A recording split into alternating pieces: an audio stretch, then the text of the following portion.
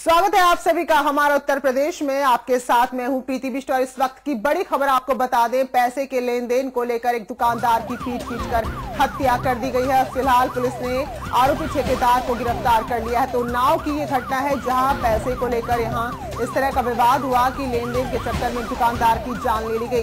थाना कोतवाली के रामलीला मैदान की घटना है जहाँ पर पैसे के लेन देन में एक शख्स की जान चली गई है और पुलिस ने आरोपी ठेकेदार को गिरफ़्तार कर लिया है। थाना कोतवाली के रामलीला मैदान की घटना है, जहाँ पर एक हत्या हुई है, पैसे के लेन देन को लेकर।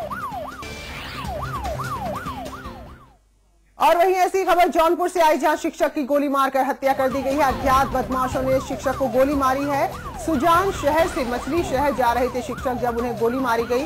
बेलवार कॉलेज के पास हत्याकांड को अंजाम दिया गया। मछली शहर में तैनात शिक्षक। थाना सुजानगंज की ये घटना है, जहाँ पर अज्ञात लोगों ने एक शिक्षक को गोली मारकर मौत के घाट उतार दिया है। बेलवार कॉलेज के पास की घटना है, जहाँ एक शिक्षक की हत्या की गई है।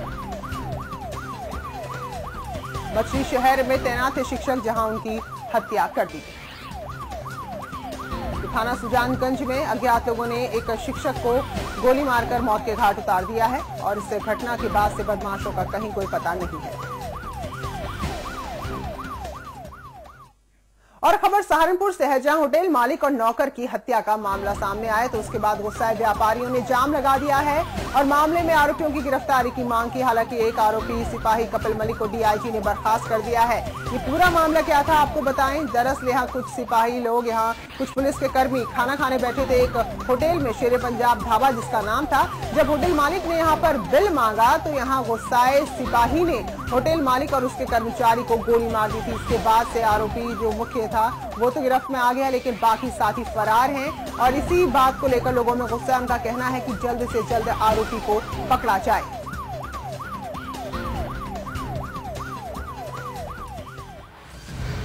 सहारनपुर में सनसनी। यूपी पुलिस फिर हुई दागदार। सिपाही पर लगा हत्या का आरोप खाने का बिल मांगने पर की फायरिंग। होटल मालिक और कर्मचारी को उतारा मौत के घाट। पैसा मांगने पर गोली मारती है सहारनपुर पुलिस।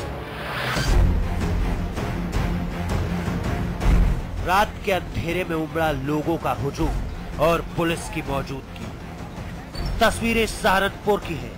जहाँ यूपी पुलिस के एक सिपाही ने होटल मालिक और कर्मचारी की गोली मारकर हत्या कर दी। दोनों का कसूर सिर्फ़ इतना था कि उन्होंने पुलिस वाले से खाने का बिल मांग लिया था।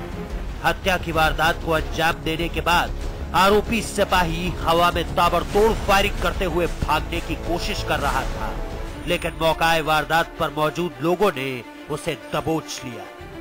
दोहरे हत्याकांड की जानकारी मिलने पर डीआईजी और एसपी सिटी पुलिस बल के साथ मौके पर पहुँचे और आरोपी के खिलाफ कड़ी कानूनी कार्रवाई करने का दावा किया। पकड़ा गया है उससे पूछताछ हो जाएगी, तो एकदम क्लियर हो जाएगी कोई भी उसको बचाएगा नहीं चाहे वो सिपाही हो चाहे जो भी कुछ हो। आपको तो क्लियर है ना। क्लियर तो हो जाने दीजिए क्लियर हो जाने दीजिए मैं उससे जब वेपन को पकड़ा गया तब मैं उससे पूछ तो लूँ से कार्रवाई हो जाएगी। डबल मर्डर की वारदात सहारनपुर रेलवे स्टेशन के पास मौजूद शेरे पंजाब होटल में हुई। लोगों का दावा है कि सिपाही ने जब फायरिंग की उस वक्त एक एसआई समेत कुछ और पुलिसकर्मी भी होटल में मौजूद थे लेकिन आरोपी को पकड़ने की बजाय तमाशबीन बने रहे। हालाँकि लोगों ने आरोपी को दबोच लिया। लेकिन बड़ा सवाल इस बात का है कि क्या अपने ही विभाग के सिपाही के खिलाफ पुलिस सही ढंग से कार्रवाई करेगी या फिर महज दिखावा कर मामला रफा दफ़ा कर दिया जाएगा? सवाल इस बात का भी है कि जब रक्षक ही भक्षक बन जाएँगे तो जनता की सुरक्षा कैसे होगी? पंकज बालिया सहारनपुर, समाचार प्लस। और खबर इस वक्त आजमगढ़ से आ रही, जहाँ ज़मीन विवाद में वकील और पुलिसकर्मियों के बीच में झड़प हुई है। वकीलों और पुलिसकर्मियों के बीच में हाथापाई के बाद उग्र वकीलों ने शहर के कई मार्ग जाम कर दिए हैं और हालात को देखते हुए यहाँ भारी संख्या में पुलिस बल को तैनात किया गया है। तो आजमगढ़ से खबर है, जहाँ पुलिस और वकील एक बार फिर से आमने सामने है। दोनों के बीच में झड़प हुई है, जिसके बाद उग्र वकीलों ने शहर के कई रास्ते जाम कर दिए हैं और अपने गुस्से का इजहार करते हुए दोषी पुलिसकर्मियों के खिलाफ कार्रवाई की यहाँ पर मांग की है। वकीलों के गुस्से को देखते हुए फ़िलहाल यहाँ पर पुलिस बल को तैनात कर दिया गया है। पाकिस्तान के पूर्व राष्ट्रपति परवेज मुशर्रफ ने मंगलवार को वो सारी बातें खुलकर कबूल कर ली, जिन पर आज तक ही पाकिस्तान पर्दा डालता आ रहा था। मुशर्रफ ने कबूल किया कि आतंकवाद पाकिस्तान की पैदाइश है। मुशर्रफ यही नहीं रुके, उन्होंने ये भी कबूल किया कि कश्मीर में आतंकी भी पाकिस्तान ने ही भेजे थे। और ये सारी बातें पाकिस्तानी न्यूज़ चैनल दुनिया टीवी को दी इंटरव्यू में कही है। इस इंटरव्यू में मुशर्रफ ने कहा कि माहौल उन्नीस सौ उनासी से बदला हुआ था। हम मुजाहिदीनी लेकर आए थे पूरी दुनिया से। सोवियत यूनियन से लड़ने के लिए तालिबान को हमने ही ट्रेन किया था। हक्कानी हमारा हीरो है, ओसामा हमारा हीरो था, जवाहिरी हमारा हीरो था। अब माहौल बदल गया है, हीरो अब विलन हो गया था। मुशर्रफ ने कहा कि कश्मीर में फ्रीडम स्ट्रगल शुरू हुआ 1990 में। वो वहाँ से भागकर यहाँ पाकिस्तान आए। पाकिस्तान ने उनको हीरो रिसेप्शन दिया। मुजाहिदीनों की हमने ट्रेनिंग के लिए फिर से भेजा। इसके बाद लश्कर तैयबा वगैरह बना। वो हमारे हीरो थे। वो कश्मीर में जान पर खेल लड़ रहे थे। अब माहौल बदल गया है।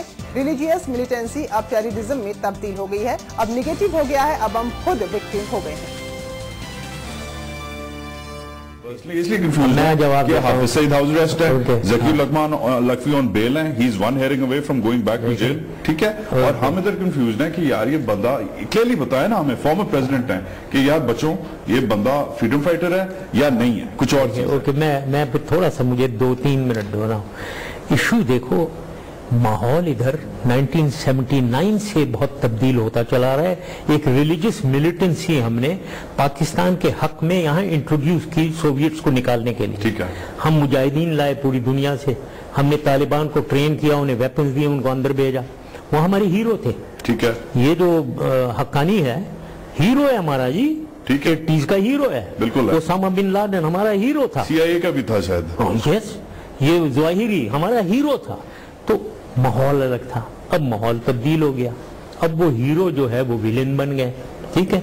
अब आप 90s को लें, कश्मीर की अब आप, क्योंकि हाफिज सईद वगैरह की बात कर रहे हैं, देखिए वहाँ एक फ्रीडम स्ट्रगल स्टार्ट हुई कश्मीर में। 1990 में शुरू हुई। वो उनको मारा गया। बुरी तरह से इंडियन आर्मी ने मारा। वो भागकर पाकिस्तान आ गए।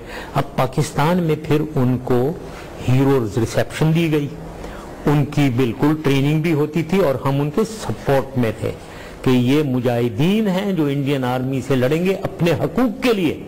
और यहाँ फिर ये लश्कर तैयबा वगैरह बनी बहुत सी दस बारह और भी बनी। वो हमारे हीरो थे जी। वो इनको अपने भाइयों को बहनों को कश्मीर में अपनी जान के ऊपर खेल करके जाकर लड़ रहे थे। थे या तो हैं? अब अब देखो ना नाउ इसी इसीलिए मैं कहता हूँ इसको पूरे को समझना चाहिए। समझ गया, ये कि आज ये विलन है तो मुझे इनको मारो पकड़ नहीं तो इसलिए मैं कह रहा हूँ ना जन साहब कि वे कंफ्यूज्ड नाउ अब ये माहौल जो है क्योंकि ये टेररिज्म ये कन्वर्ट हो गया है टेररिज्म में। ये रिलीजियस मिलिटेंसी जो पहले एक मुजाहिदीन एक्टिविटी एक पॉजिटिव उसका इम्पैक्ट नैरेटिव दुनिया में बदल गया। अब वो दुनिया में भी बदल गया यहाँ भी। ये हमारे यहाँ बॉम्ब ब्लास्ट कर रहे हैं हमें मार रहे हैं हम ही लोगों को मार रहे हैं और उनमें इन्हीं के लोग मुलवस हो गए। तो इसलिए ये नेगेटिव हो गया। तो इस वक्त इनको बिल्कुल कंट्रोल करना चाहिए और बंद करना चाहिए क्योंकि हम खुद इफेक्टेड हैं हम खुद विक्टिम हैं इनके। तो आप कह रहे हैं कि हाफिज सईद को और लखवी को बंद करना चाहिए? No comments on that no comments on that तो यानी कि कहीं ना कहीं ये बात स्वीकार कर रहे हैं मुशर्रफ कि अब उनके लिए जो भी एक तालिबानी संगठन थे, वो भस्मासुर साबित हो रहे हैं, जो खुद उन्हीं को नुकसान पहुँचा रहे हैं। पाकिस्तान के पूर्व राष्ट्रपति के इंटरव्यू पर कई नेताओं ने अपनी प्रतिक्रियाएँ दी हैं। सुनाते हैं आपको। जो विरासत है भारत और पाकिस्तान के रिश्तों की, वो इस कटुता को और ऐसे लोगों को जन्म देती है। ये एक वास्तविकता है जो पाकिस्तान और भारत को स्वीकार करनी पड़ेगी और इससे निपटना पड़ेगा, क्योंकि इसके बगैर दक्षिण एशिया में शांति नहीं हो पाएगी ये एक बहुत अहम डिस्क्लोजर है और इसकी जाँच करनी चाहिए। इस इस संबंध में हमें चाहिए कि हम और सबूत इकट्ठा करें कि वाकई में पाकिस्तान ने अ, कश्मीर आज़ाद कश्मीर की लड़ाई में और उसी रास्ते में उन्होंने आतंकवाद को भारत में पनपाया है भेजा है। अगर ये बात इसकी तस्दीक हो जाती है तो इसको हमें बहुत ही गंभीरता के साथ लेना चाहिए और साथ ही साथ इसको इंटरनेशनल प्लेटफॉर्म पर भी खड़ा करना चाहिए इस मामले को कि साथ देखिए, आतंकवाद के फैलाने का एडमिशन अगर आता है पाकिस्तान से तो इसकी पूरी जाँच होनी चाहिए और ज़रूरी कदम उठाने चाहिए इस मामले में। हम जो बात लगातार कहते चले आ रहे हैं, हिंदुस्तान पूरी दुनिया को ये समझाता रहा है। परवेज मुशर्रफ साहब कोई मामूली आदमी नहीं है। पाकिस्तान के प्रेसिडेंट रहे हैं और उनकी इस बात को नजरअंदाज नहीं किया जा सकता। हमारी सरकार को चाहिए कि मुशर्रफ साहब के इस बयान को लेकर यूनाइटेड नेशंस जाए और पाकिस्तान को बेनकाब करे और पाकिस्तान में जो आतंकवादी गतिविधियाँ हैं, उनके खात्मे का इंतज़ाम करे। ये ज़िम्मेदारी हमारे प्रधानमंत्री की है। राष्ट्रपति मुशर्रफ जी सिर्फ़ राष्ट्रपति नहीं रहे, बल्कि सेना के जनरल भी रहे। और वहाँ सेना क्या करती है, ये सबको मालूम है। उनकी ये स्वीकृत कि पाकिस्तान में ट्रेनिंग दी जाती है, सिखाया जाता है, उन्हें पढ़ाया जाता है, क्या किया जा, करना है, ये बताया जाता है। और फिर आतंकवादियों को ट्रेन करके भेजा जाता है आतंकवाद फैलाने के लिए हिंदुस्तान की धरती पर। ये पहली बार राष्ट्रपति रहे पद पर बैठे व्यक्ति ने स्वीकार किया है। ये भारत के लिए चिंता का विषय है और अंतर्राष्ट्रीय पटल पर, अंतर्राष्ट्रीय मंचों पर इसको पूरी मजबूती के साथ उठाया जाना चाहिए। यूपी सरकार ने एनसीटीई से शिक्षा मित्रों के लिए टीईटी की अनिवार्यता से छूट की अनुमति मांगी थी तो मंगलवार को एनसीटीई ने तीन पन्नों में जवाब दिया है, जिसे सरसरी तौर पर देखा जाए तो एनसीटीई ने ये छूट दे दी है, यानी कि शिक्षा मित्रों के लिए अच्छी खबर है। लेकिन एनसीटीई के पत्र को गंभीरता से देखें तो इसमें अब भी कई सारे पेज फंसे हुए हैं। समाचार प्लस सामने लाया सनसनीखेज सच। एनसीटी की चिट्ठी का सच लाया सामने। एनसीटी की चिट्ठी में शिक्षा मित्रों के लिए कुछ भी नहीं। शिक्षा मित्रों का संकट, जस का तस। राष्ट्रीय अध्यापक शिक्षा परिषद ने साफ़ कर दिया कि उत्तर प्रदेश में टीईटी से छूट उन्हीं शिक्षकों को मिलेगी जिनकी नियुक्ति 25 अगस्त 2010 से पहले हुई और तब से लेकर अब तक सेवा में हो। प्रदेश सरकार ने एनसीटी, यानी राष्ट्रीय अध्यापक शिक्षा परिषद से शिक्षा मित्रों के लिए टीईटी की अनिवार्यता से छूट की अनुमति मांगी थी। इसी पर एनसीटी ने तीन पन्नों का जवाब दिया, जिससे दो बातें साफ़ है। एक ये कि एनसीटी ने छूट दे दी है, लेकिन इसमें कई पेज है। 25 अगस्त 2010 के बाद नियुक्त होने वालों के लिए टीईटी पास करना अनिवार्य होगा। दरअसल इलाहाबाद हाईकोर्ट ने अपने फैसले में कहा था कि शिक्षा मित्रों को अध्यापक नहीं माना जा सकता। ये स्वेच्छा से काम करने वाले संविदा कर्मी हैं। बस यही पेच है कि एनसीटी ने छूट दी है। अदालत शिक्षा मित्रों को संविदा कर्मी मान रही है। वैसे भी शिक्षा मित्रों की सेवाएँ हर साल 11 महीने के बाद समाप्त होनी थी। फिर नए सत्र में नई नियुक्ति यानी निरंतरता का कोई नाम नहीं। अब सुप्रीम कोर्ट में याचिका दाखिल की गई है, जिसे बेसिक शिक्षा बोर्ड ने सुप्रीम कोर्ट में दायर की है और कहा यह भी जा रहा कि राज्य सरकार भी एक से दो दिन में एसएलपी दायर कर सकती है। इससे पहले शिक्षा मित्रों के समायोजन को रद्द कर दिया गया था। ये समायोजन 12 सितंबर को रद्द किया गया था। Bureau report, Samachar plus. और रुख करते हैं बिहार का, जहाँ विधानसभा के तीसरे चरण के लिए मतदान चल रहा है। वहीं इसी बीच बख्तियारपुर पोलिंग बूथ पर एक बंदर ने जमकर आतंक मचाया। यहाँ इस बंदर ने चार लोगों को जख्मी कर दिया। आपको बता दें कि पोलिंग बूथ बेहद हाई प्रोफ़ाइल है। चुनाव आयोग की ओर से इस पोलिंग बूथ को मॉडल पोलिंग बूथ घोषित किया गया है। हालाँकि यहाँ फ़र्स्ट एड तक के यहाँ कोई इंतज़ाम नज़र नहीं आए। तो ये यहाँ का मॉडल पोलिंग बूथ। बंदर के काटने से एक के बाद एक कई महिला और कई लोग यहाँ पर जख्मी हो गए। और जो वहाँ मौजूद लोग थे, वो किसी तरह अपनी जान बचाते हुए कतार में खड़े होकर अपने वोट का इस्तेमाल करने के लिए पहुँचे थे। हालाँकि कुछ लोग डर के मारे यहाँ से चले भी गए।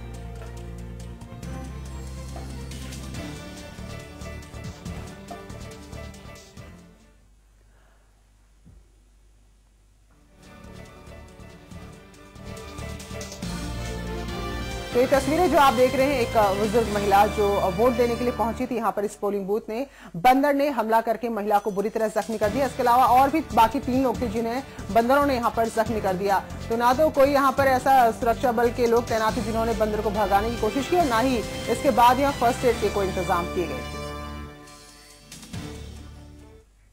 मऊ में एक शातिर ने जासाजी का ऐसा ताना बाना बुना कि पत्नी को ही बहन बताकर फर्जी पासपोर्ट पर विदेश भाग गया पत्नी को इस बात की भनक तब लगी जब विदेश से लौटकर वो दूसरी शादी करके यहाँ पर पहुँचा और कुछ वक्त बाद फिर विदेश चला गया। मामले में छानबीन हुई तो पत्नी के यहाँ पर आँखें खुली की खुली रह गई।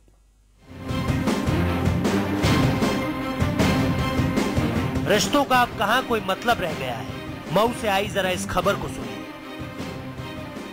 जहाँ पति की जालसाजी और सरकारी सिस्टम की मिली भगत से एक पत्नी को उसी के पति ने रिश्ते में बहन बना दिया।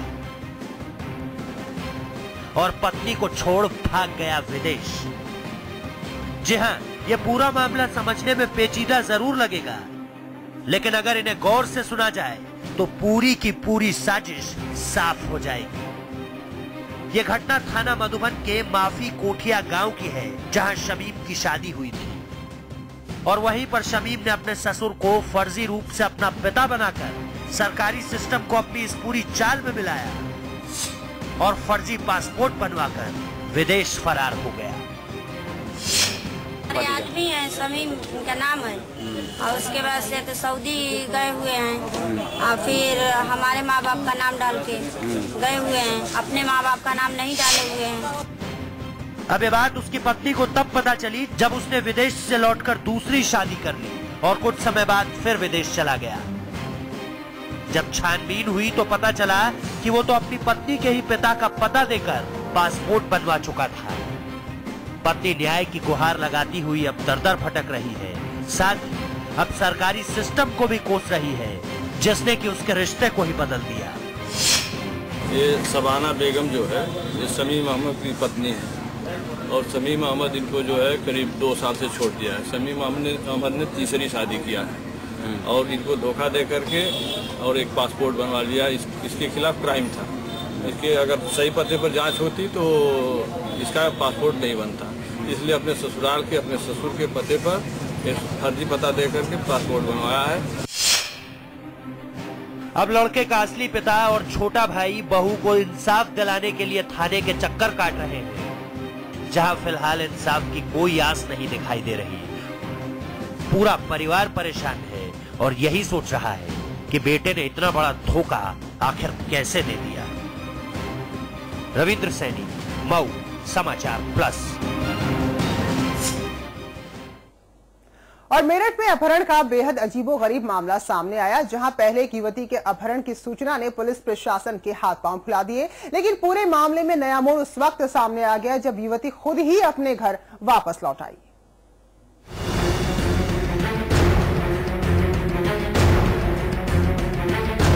मेरठ में आपराधिक घटनाएँ आम बात हो गई है। यहाँ अपराधियों पर खाकी का कोई खौफ नहीं। आए दिन अपराधी अपने मंसूबों को अंजाम देते हैं। और आसानी से पुलिस को धोखा देकर फरार हो जाते हैं। लेकिन मेरठ के थाना इंचौली के गंगानगर में अजीबो गरीब मामला सामने आया, जहाँ लड़की के अपहरण की सूचना से हड़कंप मच गया। अपहरण की सूचना पूरे ज़िले में आग की तरह फैल गई, जिसके बाद पुलिस प्रशासन के भी होश उड़ गए। सौ नंबर पर सूचना आई थी, जिसके तहत चेकिंग लगाई गई थी। अपहरण की सूचना के बाद पुलिस अधिकारी आनंद फानन में मौके पर पहुँच गए। युवती को तलाशने के लिए चेकिंग अभियान चलाया गया, लेकिन इस पूरे मामले में उस समय नया मोड़ सामने आ गया, जब लड़की खुद ही अपने घर वापस आ गई। लड़की के वापस घर पहुँचने के बाद घर वालों ने किसी भी तरह की कार्रवाई से इनकार कर दिया। इधर से टेंपो जा रहा था, उधर से गाड़ी आई गाड़ी निकली तो मम्मी को साइड लगी, वो पता नहीं आगे कैसे बैठी टेंपो में। टेंपो बैठ के अस्पताल गई और वहाँ से वो चली आई अभी। बोला, मम्मी नहीं आई। वहाँ जाके देखा उसने। अब ये कह रही मेरे साथ में कुछ नहीं हुआ है। बाकी इससे ज़्यादा जो जानकारी मुझे भी नहीं थी, मुझे तो इतना था कि शायद जब गाड़ी आई है वहाँ पे उन्होंने बैठा लिया हो इसको दरअसल ये घटना उस वक्त घटी जब युवती अपनी माँ के साथ हॉस्पिटल में भर्ती अपने परिचित से मिलने जा रही थी, कि तभी अचानक एक कार और एक ऑटो एक साथ आए। बताया जा रहा है कि युवती कार से उतरकर खुद ही ऑटो में बैठ गई थी। अपहरण की आशंका से डरी युवती की माँ ने अपने घर पर फ़ोन कर युवती की किडनैप होने की जानकारी दी। तो परिजनों ने आनंद फानन में पुलिस को पूरे मामले से अवगत कराया। कि उसके परिजन से बातचीत कर रहे हैं कि वो किन परिस्थितियों में कहा गई थी, मैं आपको स्पष्ट कर दूँ कि वो एक बालिग लड़की है जो अपने घर स्वतः वापस आए इस पूरे नाटकीय मामले में भले ही पुलिस ने राहत की सांस ली हो, लेकिन अब भी पुलिस विभाग सच खंगालने में जुटी हुई है, जिसके लिए अब परिजनों से पूछताछ कर युवती के लापता होने की जानकारी हासिल की जा रही है। अब्दुल कादिर, मेरठ, समाचार प्लस।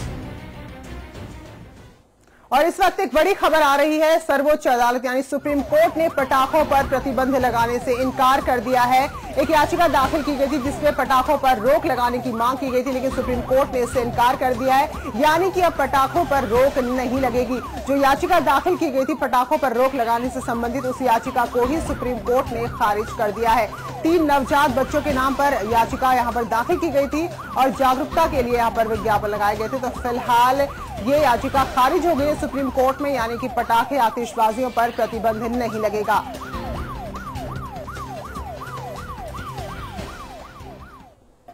कानपुर में एक ऐसा मामला सामने आया है जहाँ पुलिस सुप्रीम कोर्ट के आदेशों की अवहेलना करती नज़र आ रही है। पुलिस पिछले नौ दिन से एक नाबालिग रेप पीड़िता का मुकदमा तक दर्ज नहीं कर रही और अब पीड़िता और उसके परिजन पुलिस थाने के चक्कर लगा लगा कर थक चुके हैं। कानपुर की कलंक कथा। नाबालिग के साथ हो गया रेप। लेकिन पुलिस ने नहीं दर्ज किया केस। पुलिस को रेप है कि दिखता ही नहीं। कानपुर के नौबस्ता थाने के सिमरा गाँव की रहने वाली 12 साल की एक मासूम बच्ची के साथ उसके मोहल्ले में रहने वाले युवक ने मौका पाकर बच्ची को दबोचते हुए उसके साथ रेप जैसी संगीन और घिनौनी वारदात को जबरन अंजाम दे डाला। रेप के बाद बेहोश पड़ी बच्ची जब अपने घर नहीं पहुँची तो उसके परिजन उसकी तलाश में निकले। तब कहीं जाकर परिवार वालों को अपनी बच्ची बेहोश हालत में जंगल में मिली। साच के लिए गए थे।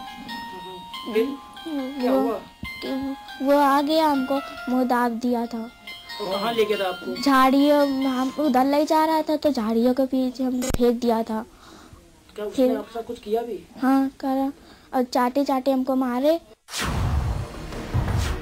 पीड़ित परिवार जब बच्ची के साथ पुलिस के पास अपनी फरियाद लेकर पहुँचा तो पुलिस ने आरोपी के खिलाफ मुकदमा दर्ज न करते हुए नौ दिन बीत जाने के बाद भी पीड़ित बच्ची का मेडिकल तक नहीं कराया। है पुलिस का कार्रवाई की तो कोई कार्रवाई सुन नहीं रही है। हमारे हाँ अकाले जा- जान से मार देवे। हाँ, हाँ, तो हाँ। क्या कुछ गलत काम भी किया है? हाँ गलत काम किया है। किस हालात में आपको लड़की आपकी बिल्कुल भी होश हालत में मिली बेटी पुलिस को सूचना दे दी आपने? हाँ सूचना दे दिन पुलिस कार्रवाई कर रही है? हाँ कार्रवाई नहीं कर रही है। एक के बाद एक वारदात को अपराधी अंजाम देकर फरार हो जाते हैं और एक कानपुर पुलिस है कि उसे रेप की वारदात दिखती तक नहीं। ऐसे में सवाल उठता है कि कानपुर की ये कलंक कथा आखिरकार कब तक जारी रही? नीरज अवस्थी कानपुर समाचार प्लस। तमाम सरकारी कोशिश और सख्त कानून के बाद भी हमारी बच्ची और बहु बेटियों के साथ बलात्कार की घटनाएँ नहीं रुक रही हैं जिसकी एक और बानगी देखने को मिली गाजियाबाद में जहाँ दो दरिंदों ने एक नाबालिग के साथ बंद फैक्ट्री में दरिंदगी का ऐसा खेल खेला कि इंसानियत शर्मसार हो गई।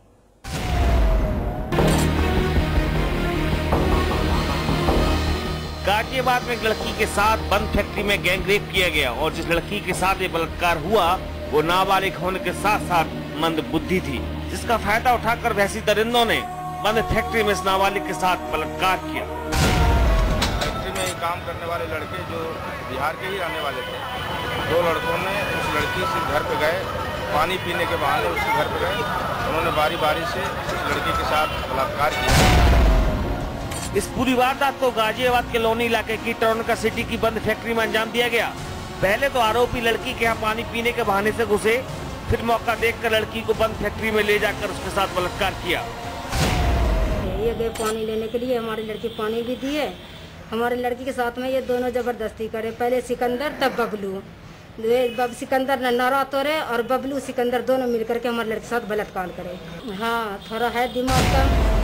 गैंग रेप की शिकार हुई लड़की जब अपने घर पहुँची तो उसने अपने साथ घटी घटना का ज़िक्र परिवार के सदस्यों के साथ किया जिसके बाद पीड़ित परिवार की शिकायत पर पुलिस ने मामला दर्ज करते हुए दोनों आरोपियों को गिरफ़्तार कर लिया। पुलिस को सूचना दिया तत्काल पुलिस ने कार्रवाई करते हुए दोनों लड़कों को गिरफ़्तार किया और मुकदमा लिख करके उनको जेल में पुलिस की गिरफ्त में आने के बाद आरोपी भी अपना गुना कबूल रहे हैं। और पुलिस की तफ्तीश के बाद बता रहे हैं कि उन्होंने किस तरीके से इस वारदात को अंजाम दिया। नाबालिग और मंदबुद्धि के साथ हुए बलात्कार के बाद सवाल उठ रहा है कि तमाम जन जागरण और तमाम योजनाओं के बाद भी हमारे देश की जगह जननी सुरक्षित क्यों नहीं है? क्यों हर रोज हमारी बहु बेटियों के साथ भिड़िए दरिंदगी करने में कामयाब हो जाते हैं? सवाल लंबे वक्त से पूछा जा रहा है, लेकिन हकीकत में आज भी हमारी बच्ची, बहन, माँ और बेटियों के साथ होने वाली एक घिनौनी वारदात रुकने का नाम नहीं ले रही हैं। संजय गिरी, समाचार प्लस, गाजियाबाद। तो इस बुलेटिन में फ़िलहाल इतने लेकिन ब्रेक